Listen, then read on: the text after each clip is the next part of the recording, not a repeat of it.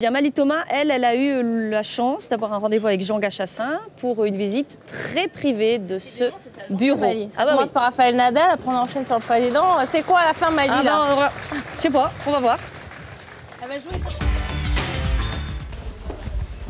Aujourd'hui, à la découverte du bureau du président.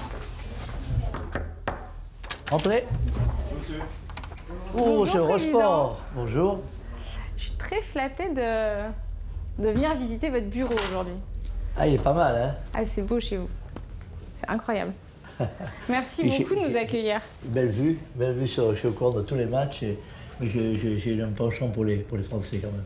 La baie vitrée ne vous suffit plus quand ce Non, sont les Français, non, il faut Non, descendre. parce qu'il me faut l'ambiance, il me faut l'ambiance, il faut euh, des, des petits mots, comme je les connais tous, euh, des- je leur parle, c'est- c'est plus fort que moi, je deviens le deuxième coach, mais je fais, je fais attention tout de même quand il y a, quand il y a des présidents des autres fédérations, euh, mais parfois Restez je me, laisse, je me laisse, je me laisse en- en- emballer. Et, Et vous êtes un homme de et sport. cas, absolument, absolument, j'aime ça.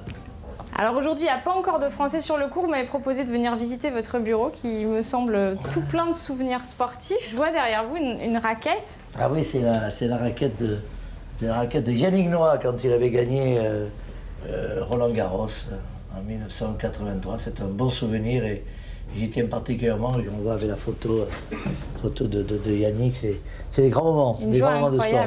Et puis c'est un bon copain. Euh, Yannick, il est indissociable de Roland Garros, mais on voit énormément de photos. Là, Ouais, ça. on parlait Là, c'était de- l'année dernière quand on a, on a remis avec euh, Usain Bolt. Usain Bolt qui a remis le, le trophée à, à à Raphaël Nadal, Nadal. à Nadal. Vous avez une coupure de presse?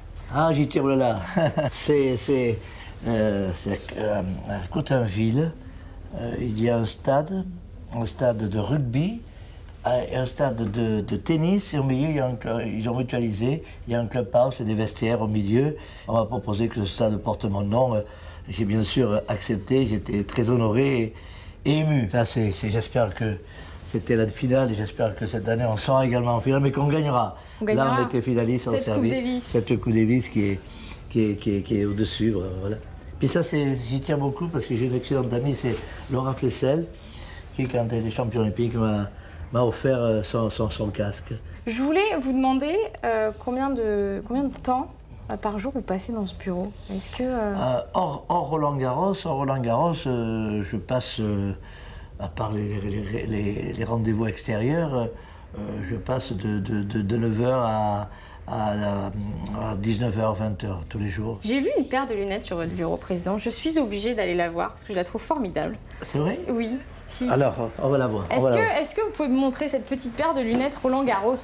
C'est un, un président de club qui m'a dit Je- vous vivez tellement, vous vivez tellement Roland Garros, ben il faut, il faut que je vous offre I Love Roland Garros. Alors c'est vrai que c'est. Alors on y voit, hein, c'est formidable. hein.